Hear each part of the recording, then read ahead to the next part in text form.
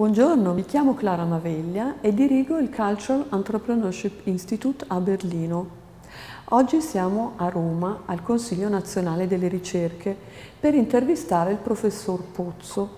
Il professor Riccardo Pozzo è il direttore del Dipartimento Scienze Umane e Sociali e Patrimonio Culturale. Benvenuto professor Pozzo. Buongiorno professor Pozzo. Buongiorno. Eh, bello che siamo qua, che ce l'abbiamo fatta. Eh, vorrebbe presentarsi personalmente? Per prima cosa, benvenuti al Consiglio nazionale di ricerche, siete nell'edificio um, centrale che è stato fondato nel 1936, eh, inaugurato da Guglielmo Marconi. Eh, siamo in questa stanza, io sono direttore del Dipartimento Scienze Umane e Sociali Patrimonio Culturale da quattro anni. È una bella responsabilità, ne parleremo, però per presentarmi racconto che, che, sono uno storico della filosofia, un filosofo, uno storico, mi occupo di storia intellettuale, come si dice oggi. Ho studiato a Milano in un ambiente eh, interessante, appunto eh, parlavo tre lingue molto presto, più il latino e il greco, eh, quindi ho continuato gli studi in Germania, prima a Heidelberg, poi a Treviri e a Saarbrücken. E dopo eh, avevo la libera docenza tedesca e sono stato chiamato in quanto professore tedesco, in realtà non più proprio come professore tedesco, all'Università Cattolica di Washington e ho iniziato a insegnare in inglese eh, German Philosophy, Kant e Hegel, ha un pubblico di studenti interessanti, bravi, anche lì che dovevano sapere il latino, il greco, il tedesco per, per la, laurearsi con me, fare il dottorato con me.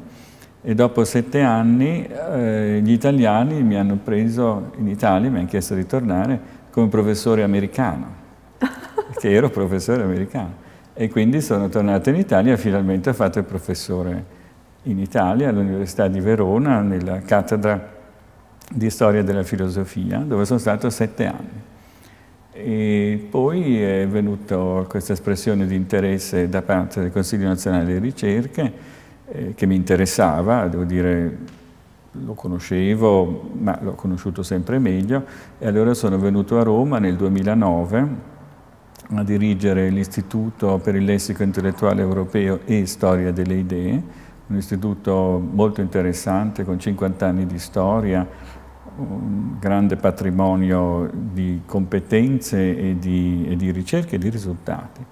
E da quattro anni invece sono qui con questo eh, impegno, questa responsabilità sulla eh, ricerca scienze umane e sociali. In questa eh, comunità di ricercatori al CNR siamo 10.000 eh, tra ricercatori e addetti alla ricerca. Non siamo tanto quanto i colleghi delle università, però abbiamo questa funzione di, di fare da apripista.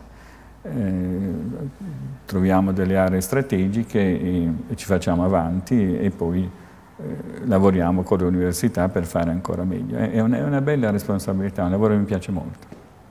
È straordinario, cioè poi è un percorso interculturale, interdisciplinare. Ehm, c'è stato un evento, una persona determinante per, per tutto questo, che l'ha ispirata in questa direzione? Beh, l'ispirazione era in famiglia, insomma, eh, sia da parte di papà sia da parte di mamma, avevamo delle biblioteche eh, in quattro lingue, cinque lingue, sei lingue, insomma eh, l'ebraico, il latino, il greco, le lingue moderne, tutte. Quindi il bambino, potenza della noia, eh, passa le estati nelle case di famiglia, legge tutto, e io leggevo tutto. Poi avevo un nonno che fu um, ufficiale, era ufficiale di marina che ebbe la fortuna impareggiabile di essere comandato a Pechino, una legazione straniera, eh, tra il 1925 e il 1928 e, e quindi eh, ebbe anche quell'esperienza, oltre ai vari comandi, e quindi il nonno era, sapeva perfettamente quattro lingue, E io sono cresciuto con un nonno che mi spiegava che dovevo sapere quattro lingue e che la cultura era, era non solo quella che avevo in casa, ma che bisognava andare a vederla nel resto del mondo. È stato molto bello crescere con nonno. E poi appunto sono andato in Germania dagli amici del nonno, mi ricordo dei personaggi eh, affascinanti, volti pieni di cicatrici, insomma, come potevano essere gli amici del nonno.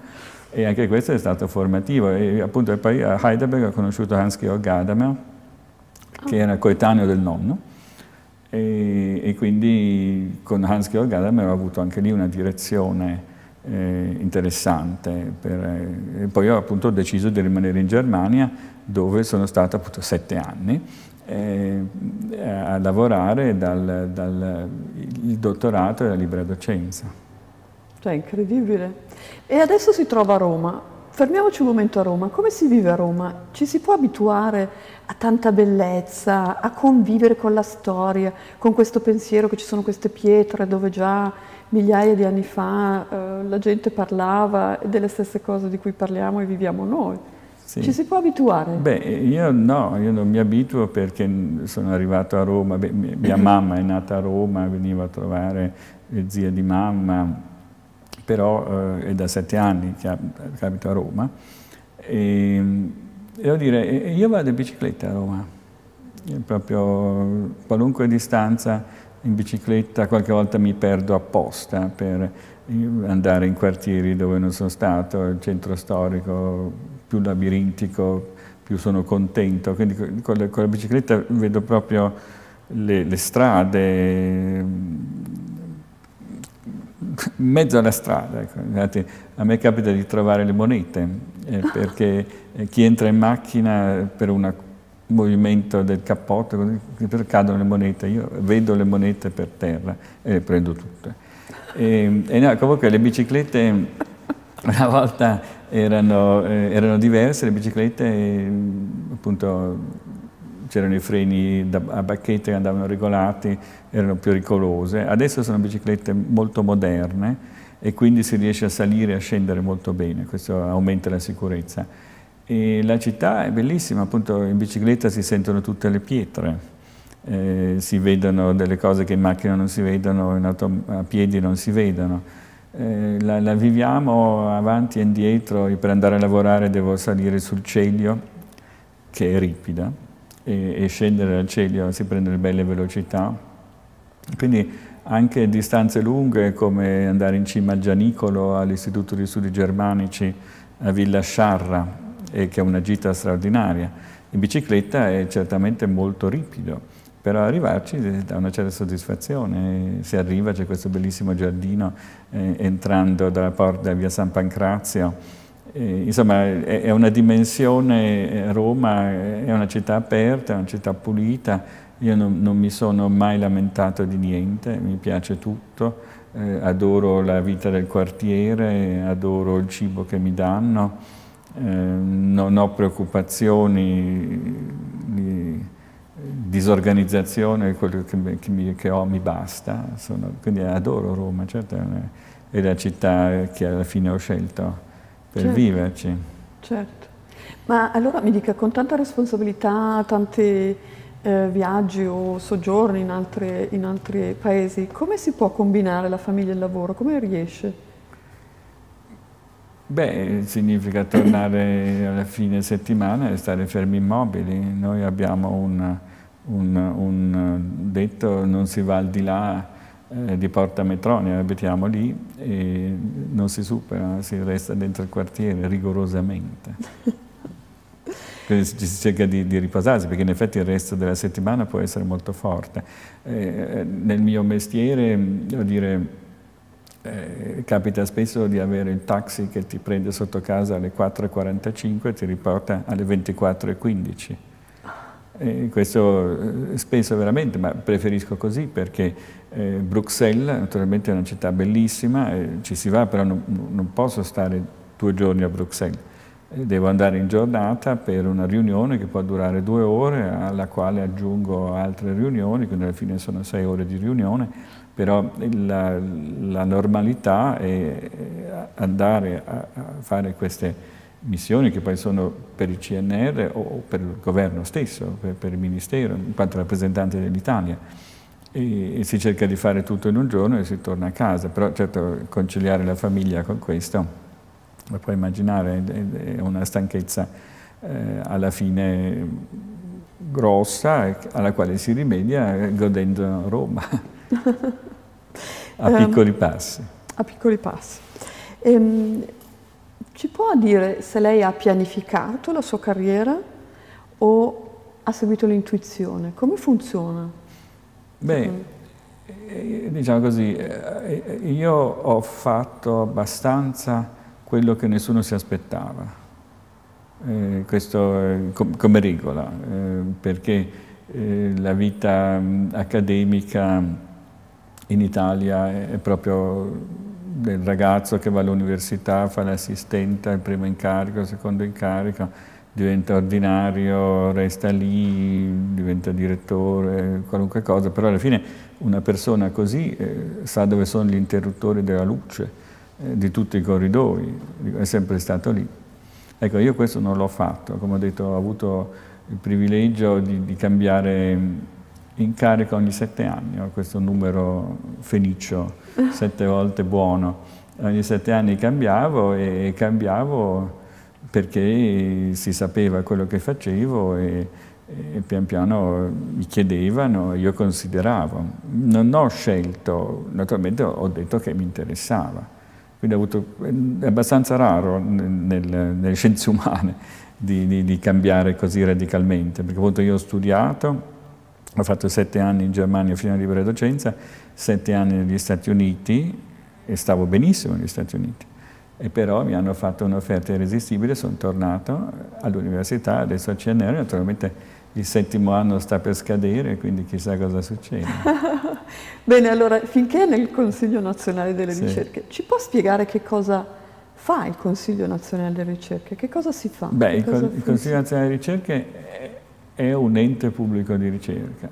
Allora, ci sono le università che conosciamo e che sono medievali, eh, prima 1189 Bologna, e sono studenti e professori, universitas, vuol dire la collettività, l'universalità dei dicenti e dei discenti.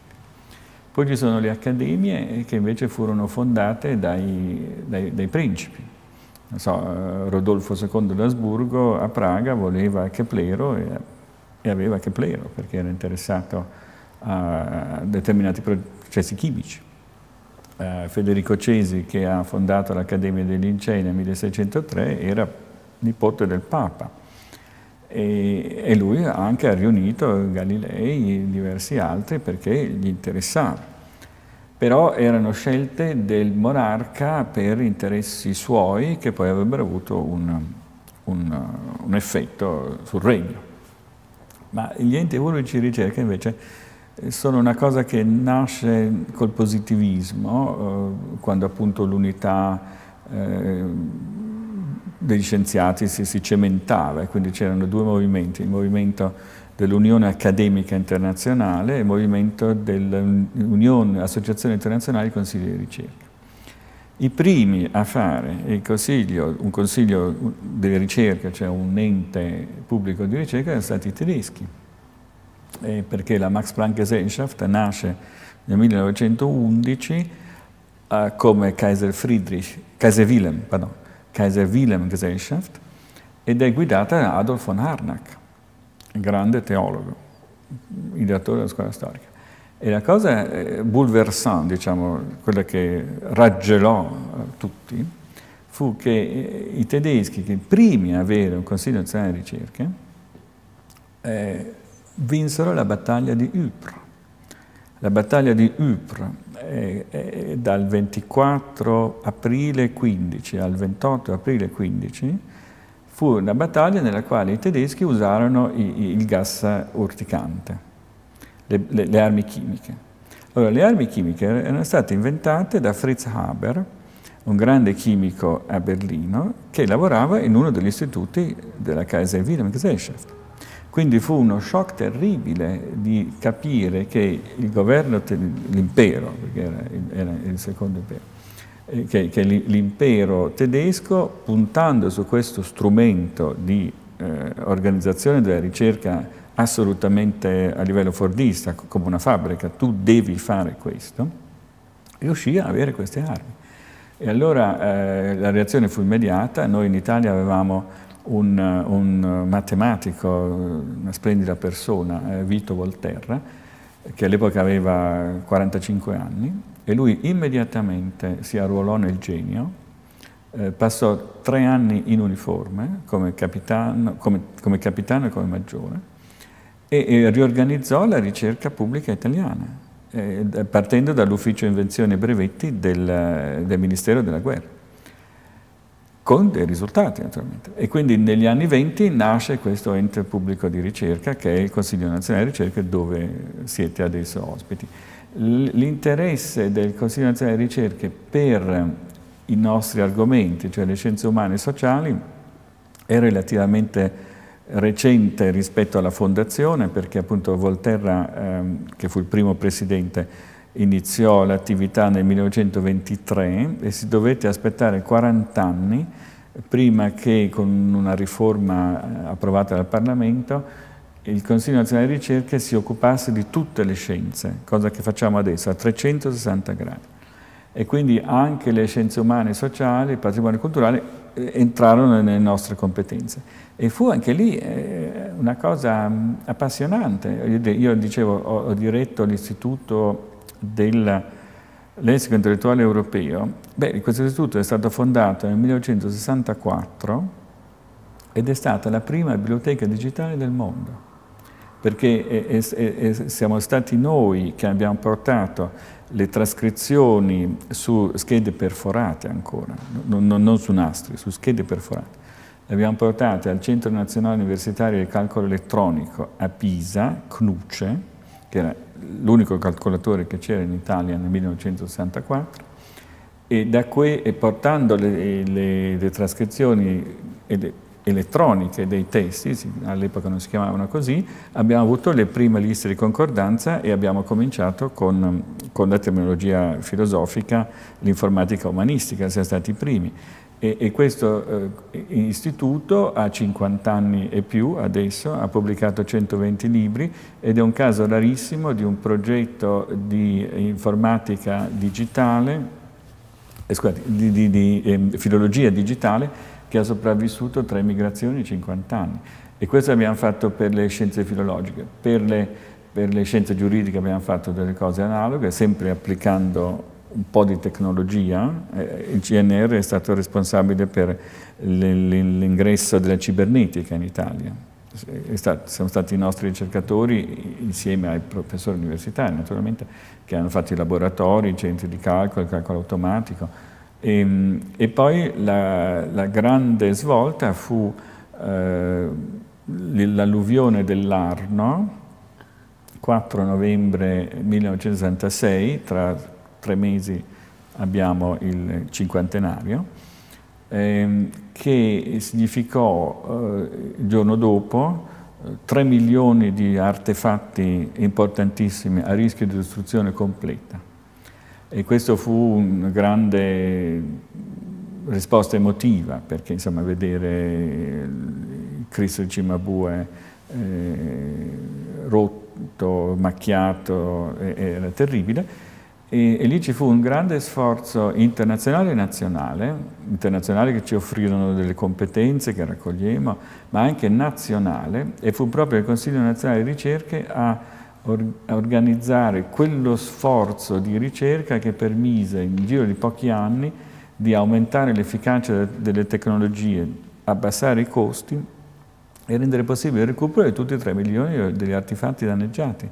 Fu bellissimo e, e, e questo proprio è una delle grandi ehm, eh, risult risultanze, insomma una delle grandi imprese eh, del CNR, di aver unito eh, competenze di tutti i tipi, storici, archeologi, archivisti, ingegneri, fisici, chimici, ehm, fotografi, tutti, per eh, mantenere questo patrimonio si sarebbe distrutto. Bene, ci ha parlato della ricerca, di quanto sia importante sia, diciamo, dal, sia, per vincere la guerra, o in un primo tempo per vincere la guerra, e poi per diciamo, conservare eh, una parte del patrimonio, dell'inestimabile patrimonio sì. eh, culturale, storico, eh, artistico italiano. E su questo mi vorrei eh, proprio soffermare, partendo prima dal, dall'influenza che a suo parere ha un tale patrimonio sul, sui cittadini e le cittadine italiane, naturalmente su tutta l'umanità, però prima di tutto su chi cresce in tanta bellezza, guardando il blu di Giotto o il, come diceva lei, il Cristo di Cimabue. A suo parere che influenza ha questo? Beh, è già un passo di un romanzo che forse conoscete, di uno scrittore milanese, Emilio De Marchi, il romanzo è Demetrio Pianelli, che comincia con un suicidio in una casa vicino alla chiesa di San Lorenzo. E c'è un passo dove dice eh, il popolo milanese si muoveva con assoluta indifferenza sotto queste colonne enormi, la statua e la chiesa di Leonardo, con assoluta indifferenza, eh, perché sono sempre state lì e loro le conoscono. Quindi da una parte c'è sicuramente questo essere sempre, esserci nati, il fatto che quel suo monumento sia parte integrante della mia infanzia, della loro infanzia. Quindi l'assoluta indifferenza c'è sicuramente anche a Roma, però è anche questa eh, enorme benedizione di, di, di, vivere dentro la bellezza. Noi questo la, la sentiamo molto. E comunque l'Italia eh, chiaramente ha una responsabilità e la responsabilità è di eh, tutelare, conservare. E, e, poi in secondo luogo, almeno così dice l'articolo 9 eh, della Costituzione, in secondo luogo di, di, di valorizzare, cioè di, di metterla a, a, valore. E allora eh, io mi capita spesso di parlare eh, dell'intersezione tra Ministero della Ricerca e Ministero della Cultura, che in effetti nel Dipartimento che dirigo è, è nodale. Noi siamo, in, noi siamo Ministero della Ricerca, siamo la punta più avanzata del Ministero della Ricerca sul patrimonio culturale, scienze umane e sociali, però dialoghiamo col Ministero della Cultura perché il Ministero della Cultura ci chiede delle cose che con i suoi eh, funzionari e ricercatori mette a sistema, ma potrebbe mettere a sistema di più. Quindi io dialogo con questi due. E allora eh, mi capita di, di spiegarlo spesso, eh, l'Italia è l'unico paese dove il Ministero della Cultura ha, aveva lo 0,4 del prodotto interno lordo. È una cifra enorme.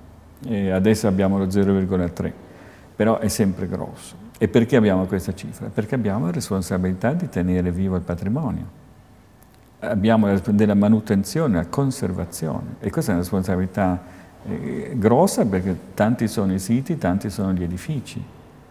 E, è chiaro, eh, questa ce l'abbiamo di fronte all'umanità e infatti la dotazione del Ministero dei beni e delle attività culturali e del turismo è, è, è notevole molto più proporzionalmente negli altri paesi.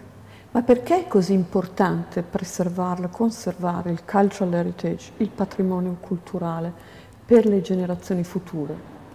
Perché è così importante? Beh, appunto, eh, Marinetti diceva eh, radiamo al suolo Venezia, eh, che tanto non ci interessa. E, e questo però non, non, non, è stato fatto. Beh, ci sono diversi modi di conservare, naturalmente.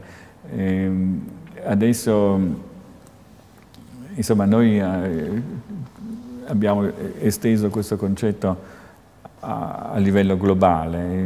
Il governo si è impegnato con l'iniziativa dei caschi blu della cultura, è un discorso che ha fatto il Premier all'Assemblea Generale delle Nazioni Unite nel settembre del 15, eh, poi ci sono stati diversi incontri, adesso si è operativi, è il nucleo di tutela dei carabinieri che organizza i caschi blu della cultura, però l'esempio che facciamo è, è questo, adesso eh, noi siamo pronti eh, su Palmira per dire.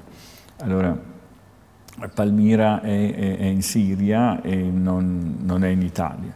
Però eh, abbiamo capito che è importante agire su Palmira. Allora come agiamo su Palmira? Eh, beh, in diversi modi. Primo, pensando a chi è l'usufruttore di Palmira. Eh, lei dirà l'umanità, benissimo. Però non è solo l'umanità, sono anche i siriani profughi costretti a lasciare Palmira, o la Siria in generale, eh, da, dalla guerra e da quello che succede adesso a loro e naturalmente sappiamo che c'è un flusso grosso di siriani che non stanno più in Siria e che stanno creando una diaspora nel resto del mondo. Allora la responsabilità dell'Europa rispetto a queste persone è anche di fare in modo che Palmira non venga distrutta, anche se viene distrutta, perché gli atti di guerra ci sono e, e Palmira è in una zona di conflitti gravi. Allora noi come ricercatori cosa possiamo fare? Beh, abbiamo dei satelliti eh, che hanno delle immagini di Palmira prima che venisse distrutta. Quindi sulla base di questi satelliti noi archiviamo i dati e siamo pronti a ricostruire la città eh, sulla base di questi dati che abbiamo archiviato oppure su delle campagne di ehm, digitalizzazione che si fanno con dei droni mandandoli adesso in maniera anche abbastanza economica sui siti, loro prendono gli angoli eh, delle, delle, dei vani all'aperto o, o, o, coperti e, e, riescono a ricostruirlo molto bene. E poi, ehm, di questo sono molto orgoglioso, eh, siamo in grado anche di ricostruire i materiali, Abbiamo un istituto a, a Sesto Fiorentino, l'Istituto per la conservazione e valorizzazione dei beni culturali, dove lavorano dei chimici, eh, loro sono specializzati in materiale lapideo e, e in effetti loro, eh, sul, col, base, usando la polvere del, del deserto e, dei, e, dei, e dei, dei frammenti della, del tempio distrutto sono in grado di ricostruire i, i, le pietre stesse.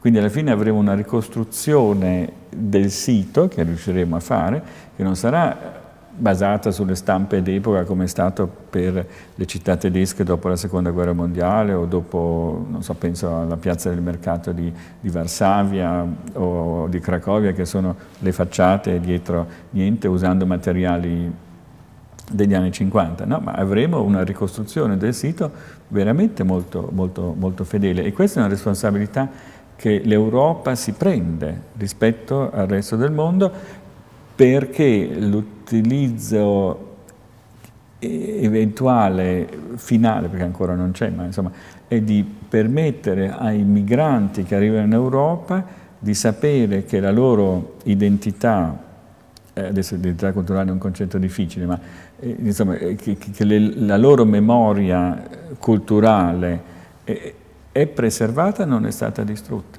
Naturalmente è anche eh, raggelante vedere eh, questi terroristi che vanno a, a distruggere i monumenti che sono patrimonio dell'umanità o che potrebbero essere patrimonio dell'umanità proprio per indispettire, per far vedere, per lasciare una ferita eh, sono tutti atti di guerra naturalmente, però di nuovo la tecnologia permette di, di lavorare in questa direzione. Questo è davvero molto, molto importante perché anche recentemente dicevano Martin Roth e Hermann Patzinger che fino a poco tempo fa tutti in replica o le, le copie diciamo, di, di, di, delle opere d'arte non erano molto ben viste, ma adesso con eh, la stampa tridimensionale o cose, si è visto che, e come dice lei, in questo modo si possono ricostruire e questo disarma diciamo, questi atti di guerra da parte di terroristi perché si dice noi li ricostruiamo e voi li distruggete e noi possiamo ricostruirli. Sì, insomma, sono dei, adesso c'è tutto un, un um, codice di tutela del patrimonio culturale nelle zone di guerra che è diventato sempre più preciso. E noi italiani ne, ne sappiamo parecchio, quindi abbiamo questo nucleo dei carabinieri eh, che ehm, protegge o recupera gli oggetti che riguardano il nostro patrimonio ed è molto grande perché c'è tutta la questione del commercio illegale e, e, però in questo momento possono essere utilizzati come, come, come, strumento di accompagnamento delle attività di peacekeeping. Ma si dice che se valorizzato bene il patrimonio culturale può rendere anche proprio da un punto di vista eh, economico, commerciale. Ehm, lei che ne pensa? Beh, eh, allora il ministro Franceschini ha detto eh, ehm, il ministero che dirigo che al Collegio Romano eh, che è stato possibile occupare eh, nacque nel 1975 quando i locali della Biblioteca Nazionale furono trasferiti, cioè i, i, libri della Biblioteca Nazionale eh, si trasferirono al Castro Pretorio nell'edificio che conoscete adesso, l'edificio era vuoto, allora eh, l'onorevole Spadolini disse bene allora lo occupiamo e facciamo il Ministero dei Beni Culturali eh, che prima era una direzione generale del Ministero della Pubblica Istruzione.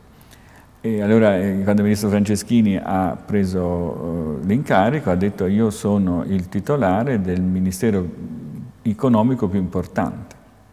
Ha detto proprio il ministero economico più importante perché eh, il patrimonio culturale, i beni culturali sono una parte importante della vita economica della nazione. in effetti eh, si può dire che l'industria culturale e creativa, cioè quella che ruota attorno alla cultura, da sola faccia il 5% del PIL.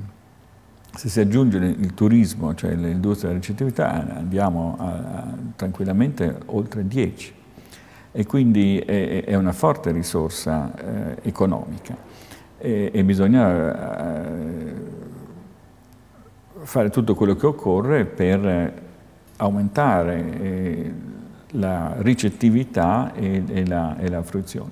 Eh, naturalmente ci sono dei problemi, il turismo di massa danneggia e quindi eh, l'indicazione è di pensare l'Italia intera come un museo a cielo aperto, quindi non eh, delle città d'arte o dei siti in città d'arte o dei musei, ma proprio tutta e, e, per questo ci sono diverse iniziative, io le, le, seguo, ne seguo alcune, ma si può pensare appunto a dei uh, sistemi di informazione eh, sempre più capillare, sempre più interessante, multilingue, che, che guidi l'usufruttore in... Eh, in diverse circostanze. Posso fare un esempio. Eh, si immagini una uh, turista cinese di, di, 40 anni che arriva a San Gimignano.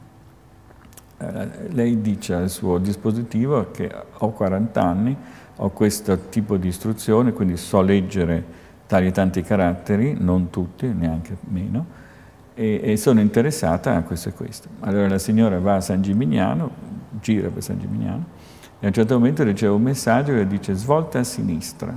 Lei svolta a sinistra e trova un ufficio postale progettato da Gio Ponti. Perché no? Lei aveva scritto nella, nella sua guida che era interessata all'architettura e al razionalismo, quindi anche se è a San Gimignano con le torri, San Gimignano dice guarda abbiamo anche un, un ufficio postale che è molto bello e lei lo va a vedere e questo è il museo diffuso il museo all'aria aperta, tutta l'Italia. Dobbiamo arrivare a questo. Certo. Che ne dice degli imprenditori e le imprenditrici che contribuiscono a eh, conservare il patrimonio, che contribuiscono finanziariamente, sì, come qui al Colosseo? Il Colosseo è un bel esempio, Diego della Valle non ha messo il suo nome, quindi, però si sa che l'ha fatto, altri eh, giustamente vogliono avere il nome. E, e, è una cosa assolutamente da, da seguire. Il ministro Franceschini ha, ha, fatto una legge a proposito, l'art bonus, eh, che dà un gettito notevole. Quindi è, è, è giusto farlo, sicuramente non, non, non svendiamo l'Italia a, a, questi imprenditori che prendono a cuore la, la, conservazione in questo caso, perché lì il rischio naturalmente è che l'oggetto eh, si danneggi in maniera irreparabile e quindi è, è, giusto qualcuno che lo salvi. Invece la parte relativa alla, alla valorizzazione, questa è normale economia, abbiamo appunto eh, di, insomma, abbiamo, come sa, il, il, turismo blu, il turismo di avventura, il turismo culturale. il turismo culturale da noi è molto importante, infatti abbiamo ad esempio la borsa del turismo archeologico, eh, dove gli appassionati di archeologia vengono a sapere eh, che c'è questa e questa novità, eh, tale sito, tale tecnologia, insomma è una cosa grossa. E noi come Consiglio Nazionale di Ricerche facciamo ricerca di base, facciamo ricerca applicata e lavoriamo con le imprese. Quindi abbiamo delle belle imprese. Insomma, i, ecco, eh, adesso non, non, non, vorrei annoiare, ma insomma eh, si parla di innovazione tecnologica, innovazione sociale, innovazione culturale. Allora l'innovazione tecnologica è la, la scoperta eh, che dà un, un risultato, il risultato viene applicato e abbiamo quindi la possibilità di eh, ehm, fare utilizzare questa scoperta l'intera società. La società deve, deve decidere se eh, l'innovazione funziona, se costa giusto e se ci sono dei problemi di carattere etico o politico per eh, l'implementazione. Adesso non faccio gli esempi. L'innovazione culturale è una bella cosa, eh, chissà cos'è. Allora, l'innovazione culturale oggi è ehm, trovare degli indicatori che ci permettano di, avere, di valutare le tracce lasciate da chi ha delle esperienze culturali. E come si fa a valutare queste tracce? Beh, le si valuta appunto usando gli indicatori della co-creazione. Cioè io uh, lascio una traccia se scarico un film da Netflix, o se compro, se compro un biglietto al cinema no, perché non sanno chi sono, ma se lo prendo da Netflix sì, lo sanno chi sono. E adesso il sogno che abbiamo, che però stiamo facendo, si immagini eh, il Museo Archeologico Nazionale di Napoli. È bellissimo. Era eh, il palazzo che Carlo III di Borbone, poi re di Spagna, eh, fece, fece costruire per l'Università di Napoli in realtà eh, il Palazzo Pronto eh, si scoprì Ercolano e Pompei e, e si misero ancora nel 700, nel 760, eh, tutte le statue di Ercolano e Pompei. Poi Farnese entrarono nella famiglia reale e quindi la collezione farnese arrivò a Napoli. Il toro farnese. Ecco.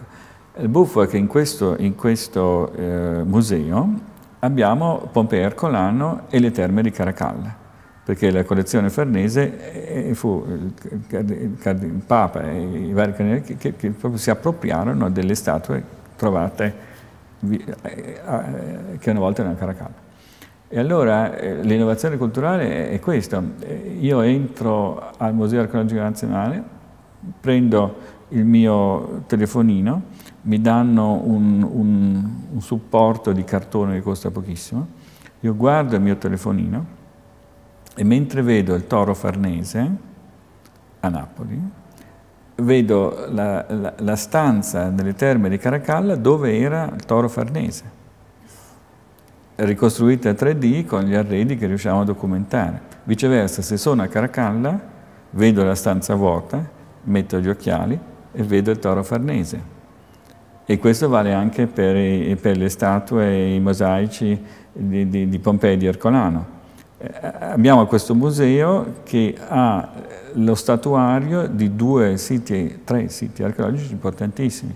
Allora, l'innovazione culturale viene dal fatto che una volta che io metto questi occhiali, la macchina calcola quanti minuti sto.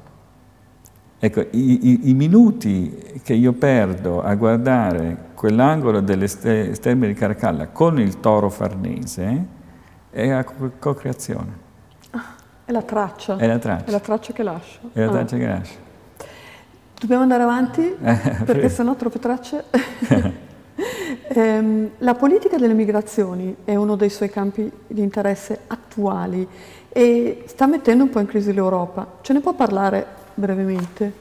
Beh, la politica delle migrazioni è, è l'oggetto più importante di ricerca per i prossimi 50 anni. E noi lo vediamo anche qua. Eh, Così come le piogge acide crearono un grande una grande reazione emotiva ehm, negli anni 70 e 80, alla quale seguì un enorme sforzo di ricerca, di tutti.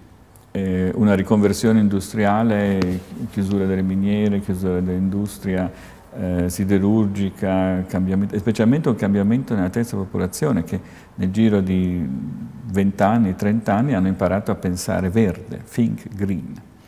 Migrazioni è, è una cosa analoga, adesso abbiamo eh, l'orrore dei morti in mare, l'orrore di questi eh, poveri eh, che, che, devono correre attraverso il campo.